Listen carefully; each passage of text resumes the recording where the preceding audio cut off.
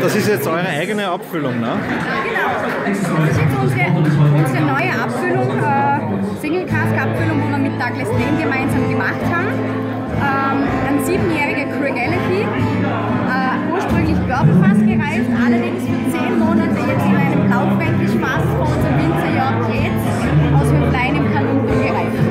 In Fassstärke abgefüllt mit 57,7 sehr toll. Wie würdest du den geschmacklich beschreiben? Wie würde ich den geschmacklich beschreiben?